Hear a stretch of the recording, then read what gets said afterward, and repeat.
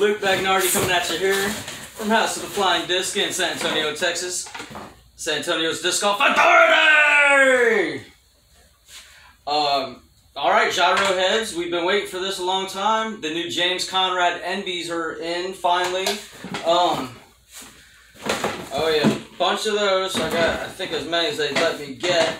There's uh, also some James Conrad stock. It looks like the stock stamp Envies.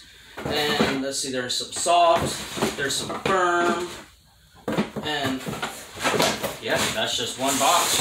It's actually a couple boxes inside the box here. Oh man. Come on. Alright, that wasn't hard. Let's see.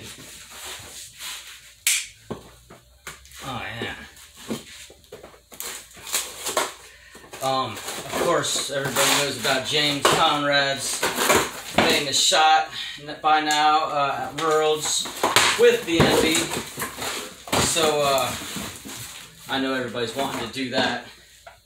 More James Conrad Envies. Also, in the shipment from Axiom, we got the Neutron Hex. Those are pretty sweet looking. Wow, these are really pretty. I actually kind of wish I'd gotten more of those.